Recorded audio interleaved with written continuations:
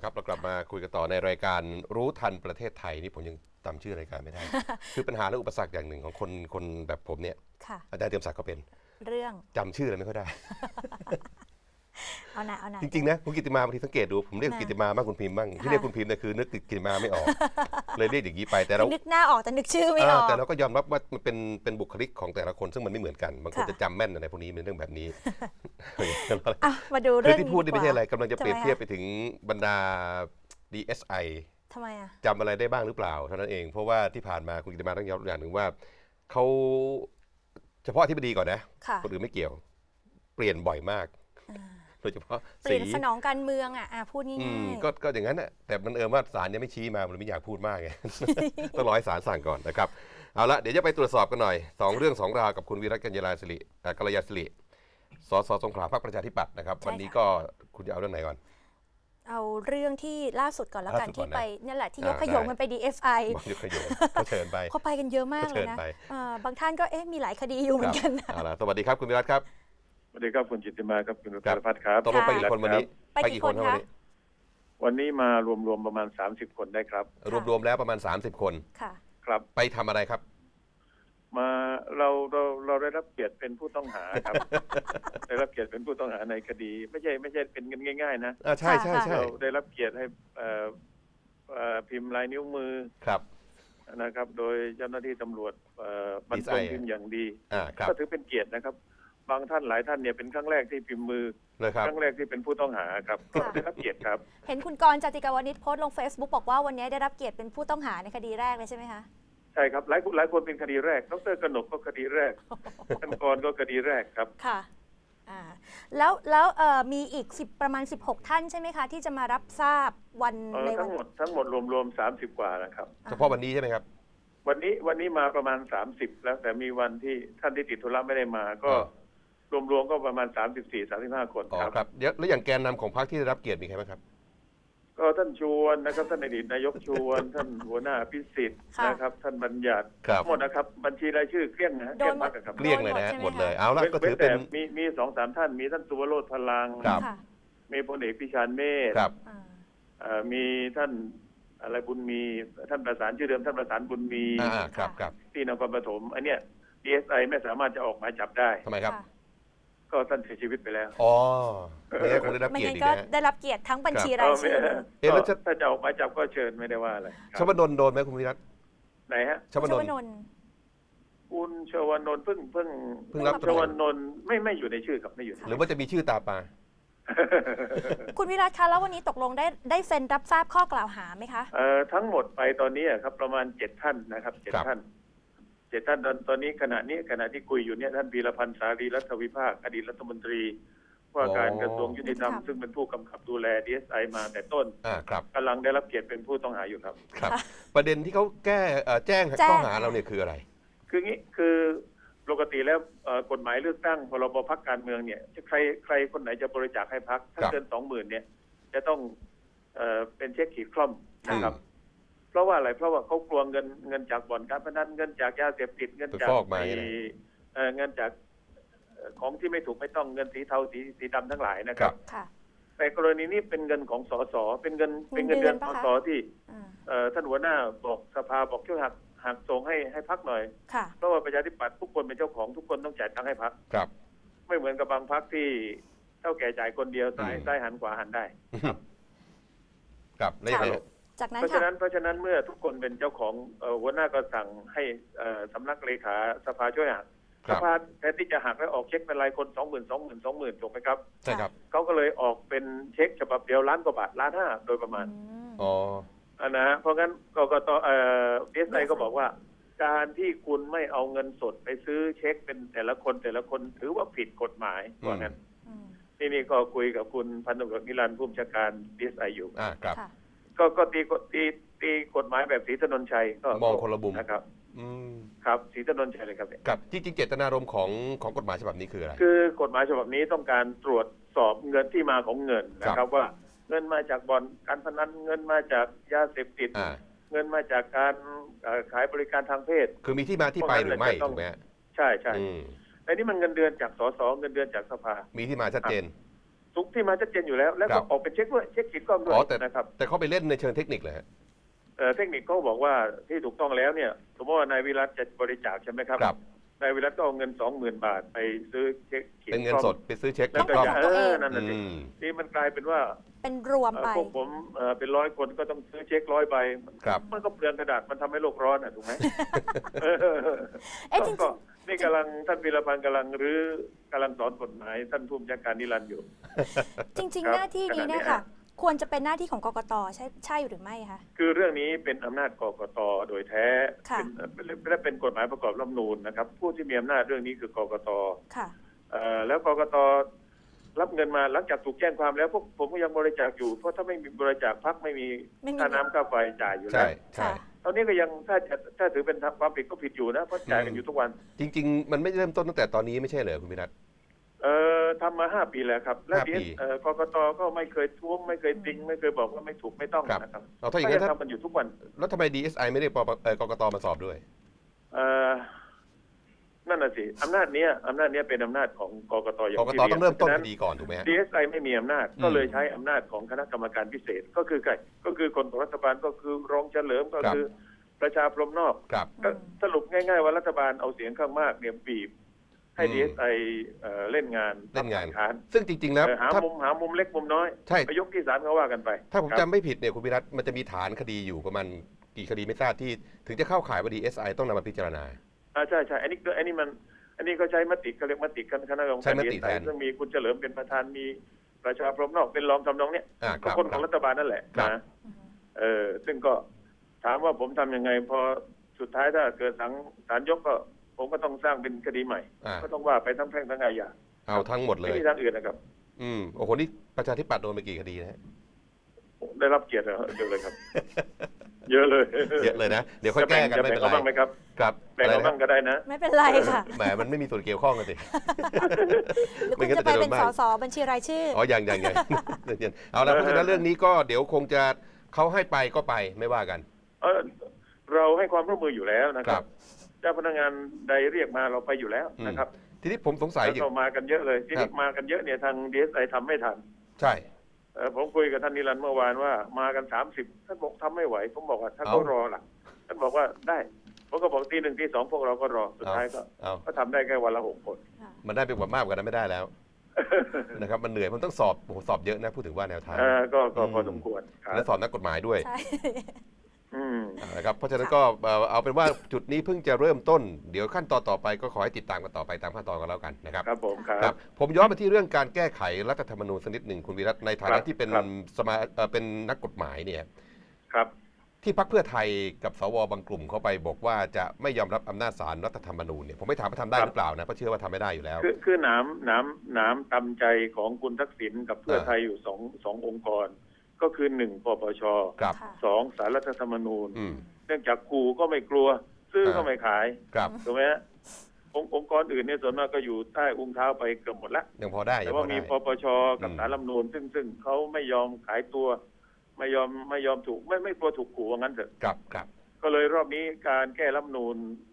มาตรา 68 ก็คือตัดประชาชนไปที่ศาลไม่ได้ ครับค่ะมาตรา 190สารรัฐธรรมนูญไม่มีอำนาจวินิจฉัยอืม ไอ้สัญญาระหว่างระหว่างประเทศไม่ว่าเรื่องก๊าซในทะเลเรื่องอะไรทำผิดทำถูกจะทิพหายวายป่วงก็อ่าสารรัฐธรรมนูญก็ยุ่งไม่ได้ใช่ นะครับ แล้วก็ไปให้ปปชเลือกตรง 200 เพื่อจะได้มีเสียงเกิน 3 ใน อืม 5 จะได้ถอดถอนสารรัฐธรรมนูญจะได้ถอดถอนปปชได้ครับ ชัดเจนเลยครับ คือทำลายการตรวจสอบทุกระบบเท่านั้นเองครับ อืม ครับ ครับแต่วิธีการอย่างนี้เนี่ยมันทำให้ประชาชนสับสนไหมฮะ อืมก็ก็เป็นเวรกรรมของประเทศไทยผมไมันจะว่ายังไง เนาะ เออนี่นี่คือข้อเท็จจริงครับ คุณวิรัตคะเราแล้ก็วมีหน้าที่ก็ชี้แจงไปค่ะ ในสัปดาห์หน้าเนี่ยเอ่อสสและสวที่ถูกทางด้านของสวสมชายแสวงการไปยื่นเอาไว้ว่าอาจจะกระทำการขัดกับรัฐธรรมนูญเนยคะสัปดาห์หน้าครับเนี่ยเขาจะรวมตัวกัน แล้วก็ไปยื่นแถลงการต่อสารรัฐธรรมนูญ ปฏิเสธอำนาจสารรัฐธรรมนูญตคืรองกล่นี้อมให้คนไทยกล่อมให้คนไทยยอมรับอำนาจศาลโลกอืมแล้วก็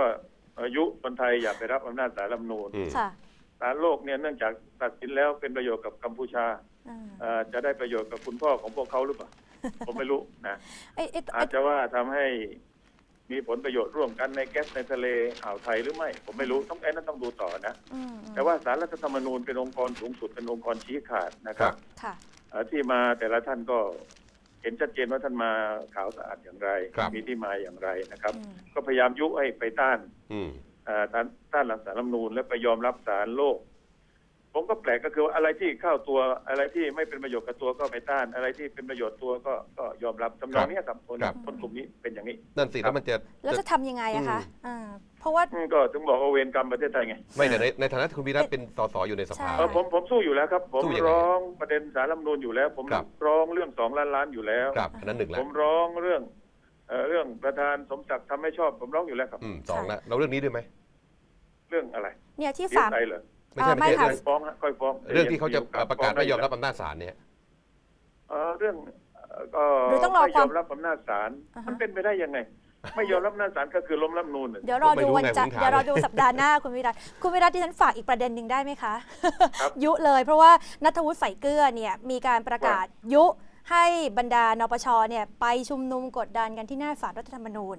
ทีนี้เผานัทเลยพี่น้องผมรับผิดชอบไม่คนไม่นั้นถึงหรือเปล่าไม่ถึงขั้นเผาค่ะแต่ยุยุ ทีนี้นัทวุฒิใส่เกลือเนี่ยได้รับการปล่อยตัวชั่วคราว เพราะว่าถูกคดีก่อการร้ายถูกไหมคะครับหนึ่งในข้อตกลงก็คือว่าห้ามปลุกปั่นยุยงปลุกระดมถูกไหมครัคะบฝากก็ด้วยก็ได้ไหมเข้าคะเข้าเข้าขายแล้วเข้าขายแล้วนะครับอืมฝากด้วยรันะฐมนคะตรีก็มีสิทธิ์ที่จะนอนคุกกันเหมือนกันนะฝากด้วยแล้วกันค่ะเออโอ น่าเคสนใจก็ฝากดูไว้เอาละครับครับขอบคุณขอบคุณมากแค่นี้ก่อนค่ะสวัสดีครับสวัสดีค่ะสวัสดีครับสวัสดีผมก็เป็นเรื่องที่เราต้องติดตามกันต่อท่านผู้ชม เพราะว่าจากนี้ไปเนี่ยถ้ามียังเป็นทางการนะครับอืมหมายถึงว่ามีหนังสือออกมามีลายเซ็นครบถ้วนแล้วว่าจะไม่ขอถ้าไม่ไปยอมรับ คือไม่ขอไปชี้แจงไม่เป็นไรนะใช่ใช่เพราะมันเป็นสิทธิ์ อ่าเป็นสิทธิ์ถูกไหมคุณไปชี้แจงไม่เป็นไรแต่ว่าศาลอ่าจะยึดว่าถ้าคุณไม่มาก็แปลว่าเอาเท่าที่มีอยู่ เอารายละเอียดข่าวอ่าหน่อยไหมคุณพีรพัอ่าฒน์เชิญนะสักนิดหนึ่ง สามารถแก้วมีชัยนะคะ สคสรับเชียงรายพักเพื่อไทยออกมาเปิดเผยค่ะ ว่าในสัปดาห์หน้านี้เนี่ยกลุ่มสสแล้วก็สว312 คนจะไปยื่นหนังสือเปิดผนึกอย่างเป็นทางการ ครับ ต่อสารรัฐธรรมนูญ เพื่อที่จะปฏิเสธอำนาจสารรัฐธรรมนูญ ที่รับคำร้องแก้ไขรัฐธรรมนูญรายมาตรา ทั้งนี้ก็เพื่อแสดงจุดยืนปฏิเสธอำนาจศาลอืมที่ก้าวล่วงอำนาจฝ่ายนิติบัญญัติ เพราะว่าในรัฐธรรมนูญมาตรา 291 เนี่ยให้อำนาจรัฐสภาแก้ไขรัฐธรรมนูญได้ครับแล้วก็ศาลเองนั่นแหละเคยแนะนำว่าถ้าแก้ก็ให้แก้เป็นรายมาตราอืมสามารถแก้วมีชัยบอกว่าเป็นห่วงว่าถ้ามีการก้าวล่วงอำนาจนิติบัญญัติ หากไม่ทำอะไรเลย ก็เหมือนกับเป็นการยอมรับให้มีการก้าวล่วงอำนาจนิติบัญญัติ เพราะฉะนั้นต้องทำอะไรให้ศาลรัฐธรรมนูญเห็นบ้าง เฮ้ยประโยคนี้น่ากลัวนะคือพี่เจธีรตพัฒน์นารมณ์ที่ทางศาลได้มีคำวินิจฉัยมาเมื่อคราวที่แล้วเนี่ยอ่าฮะเพราะว่าท่านไปแก้ในมาตรา 291 291เพื่อจะเปิดใช่ไหมฮทางให้ตั้งสสรแล้วก็อ่ายกใช่ร่างใหม่ทั้งฉศาบัลบก็บอกว่ามันผิดเจตนารมณ์ของรัฐธรรมนูญรัฐธรรมนูญอ่าฮะที่ประชาชนเนี่ยเป็นคนลงประชามติมาค่ะเพราะฉะนั้นศาลก็เลยคือจะให้ศาลชี้แนะไม่ได้ครับ เพราะว่าศาลมีหน้าที่ในการที่จะ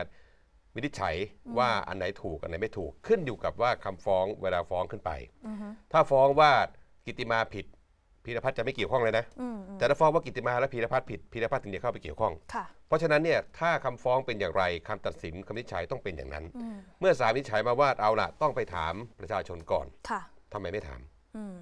เขาก็เลยบอกว่าก็ศาลเคยแนะนำแล้วว่า ให้แก้ไขรายมาตรา นี่ไงเขาแก้รายมาตรามันแล้วใช่ครับ แต่ไม่ใช่คุณไปแก้มาตราเนื้อใดหามาตราหนึ่งเนื้อหาที่มันอืมแสดงสอว่าจะผิดรัฐธรรมนูญใช่ผิดเจตนารมณ์มันก็ทำไม่ได้ ใช่ เพราะว่ามันจะไปพันกับมาตราอื่นหมวดอื่น ในใช่รัฐธรรมนูญอีกเยอะแยะไปหมดซึ่งเพราะเอ่อมันต้องดูให้ละเอียดไม่ใช่มาพูดเพียงแค่ว่าแก้มาตรานี้ทำไมแก้ไม่ได้ ก็ไอ้เพราะทำไมนี่แหละอ่าถึงต้องไปยื่นฟ้องศาลไง ให้ตามวินิจฉัยว่าทำไม อ่า เพราะอะไรจะได้มีคำวินิจฉัยชัดเจน ถ้าแก้ 68 ไม่ได้ ถ้าเราไปแก้มาตราอื่นลองมาแก้มาตรา 190 นี่อืมถูกไหมอย่างที่อภิสิทธิ์ทำอะค่ะ สมัยนั้นน่ะแก้ 190 เสร็จปุ๊บแต่แก้เฉพาะข้อความบางข้อความ ใช่ค่ะ ไม่ใช่ยกทั้งมาตรานะครับใช่ไม่ใช่นะใช่ข้อความบางข้อความแล้วที่ให้มันมีความไม่ชัดเจนอ่ามีความชัดเจนอะ มากขึ้นอ่าเพราะอย่าลืมว่าประเด็นนี้เนี่ยมาตรานี้เนี่ยมันไม่ได้ทำกฎหมายลูกขึ้นมารองรับเลย ตั้งแต่แรกตั้งแต่ใช่ปีพศ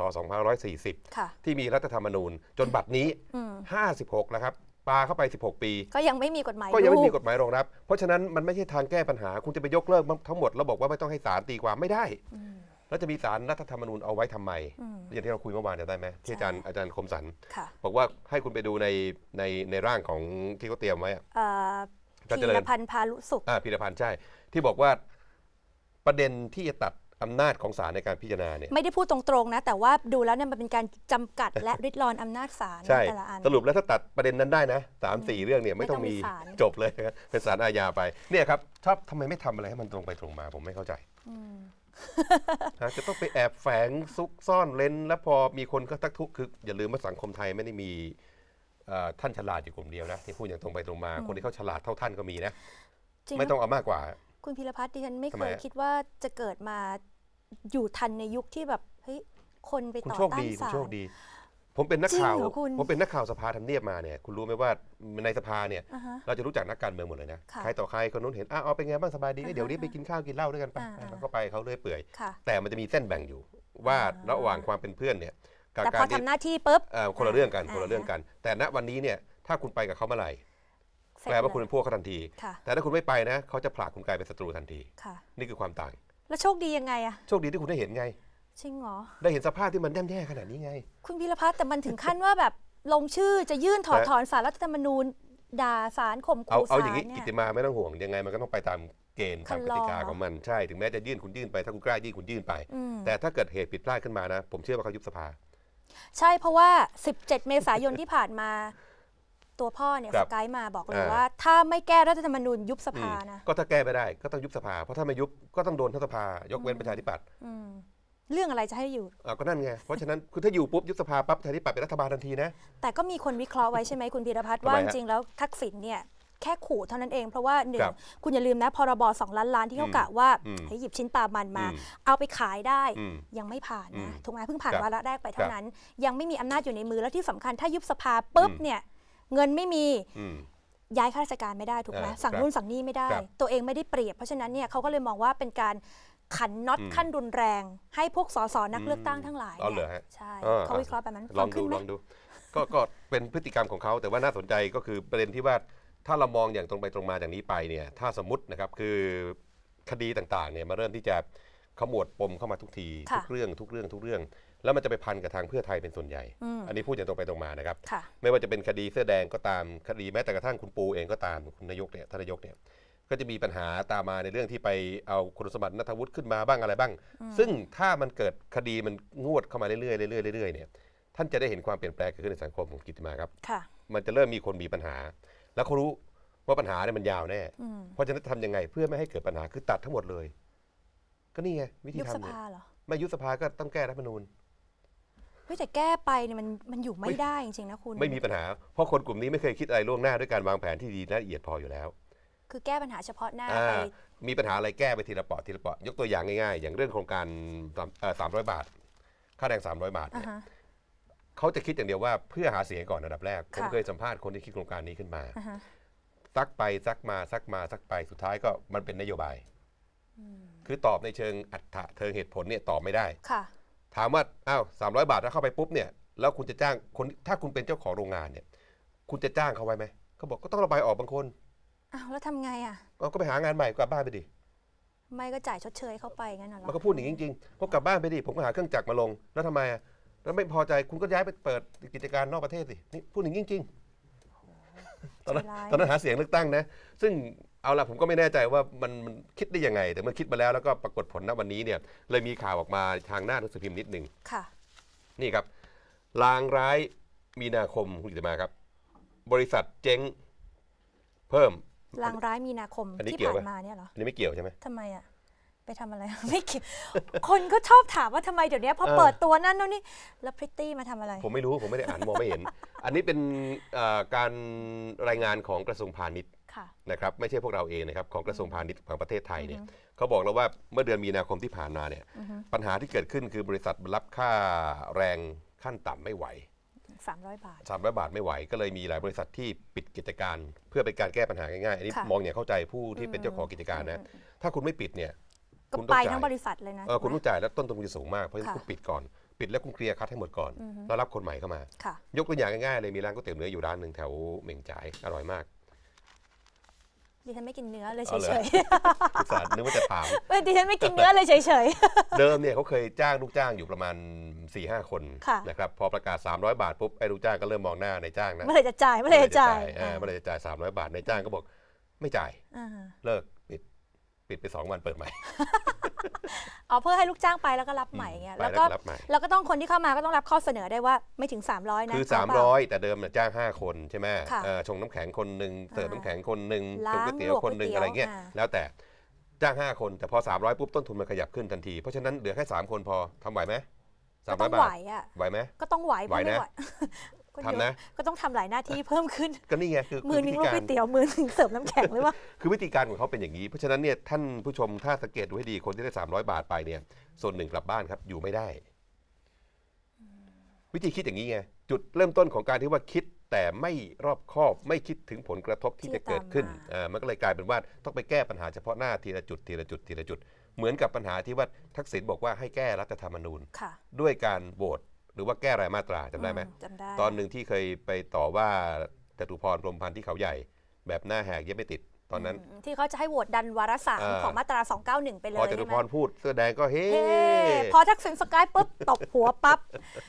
อย่าพูดอย่าพูดถึงตู่นะ ตู่นี่ช้ำไปเลย คุณไม่เห็นนะเขาไม่ออกมาอีกเลยนะคุณ ผมไม่รู้ ช้ำไหมล่ะแต่คผมดีก็โดนรัฐมนตรีก็ไม่ได้อ่าเป็น เดี๋ยวสิ ผมจำได้ตอนนั้นผมขำก็เอาอาตามนั้นแหละเขาก็เลยเปลี่ยนวิธีการว่า เพราะฉะนั้นมาแก้รายมาตราค่ะแต่บังเอิญทีมฝ่ายกฎหมายของพรรคเพื่อไทยเนี่ยอืม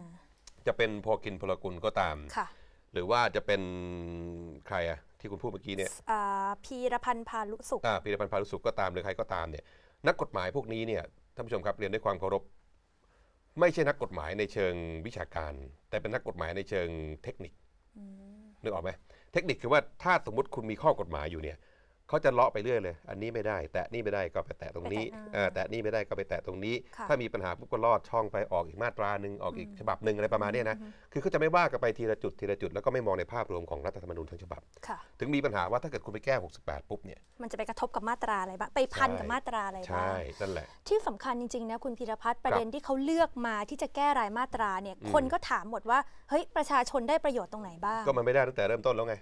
ถูกไหมคือคุณเริ่มต้น 68 ปุ๊บแปลว่าคุณไปตัดสิทธิประชาชนทิ้งเนี่ย